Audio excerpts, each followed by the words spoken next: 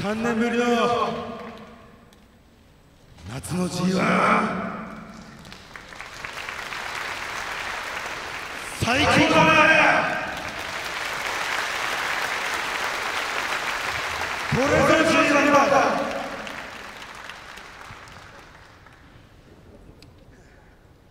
でもこの3年にたくさんのものを奪われたけどそろそろ取り返しに行こうぜ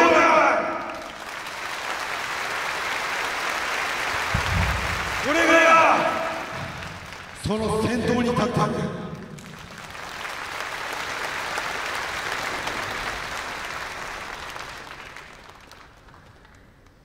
G1 クライマックス最後の最後まで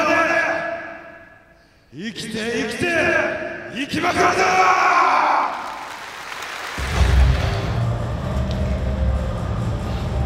去年の G1 クライマックスゼビオアリーナ仙台大会メイベントに出るはずだったんだけどね。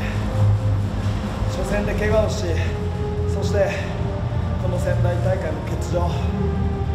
その時のリベンジそして後藤戦でいうと2011年かな同じ仙台仙台サンプラザホールでやった試合がすごく印象に残っててその時のリベンジも含め今日は完全に俺のためのメイベント後藤戦だなと思ってたんだけど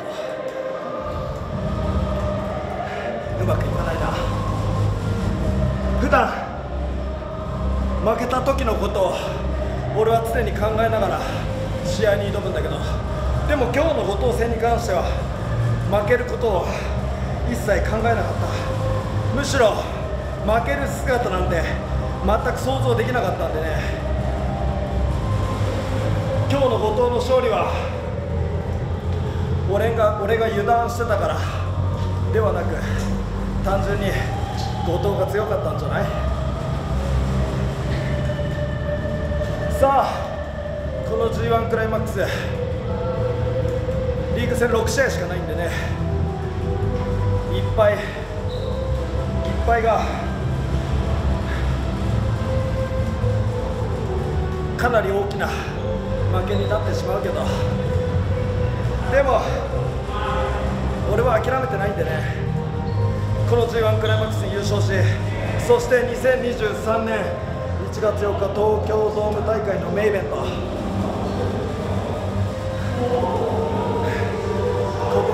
巻き返しを皆様楽しみにお待ちください。俺の夏はまだ終わらないぜ。カブラン。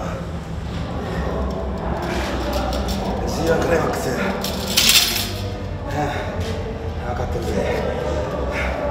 これが G1 だ。夏の G1 が帰ってきた。この3年。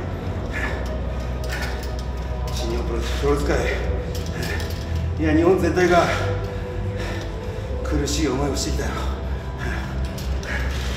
だがそろそろ失ったものを取り返そうぜおい。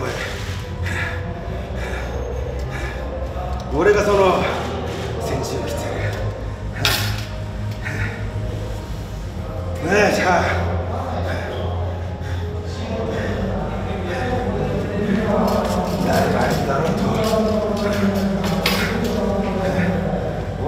俺は立ち上がるんだ。最後に。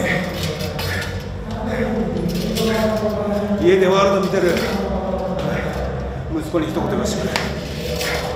お父さん勝ったぞ。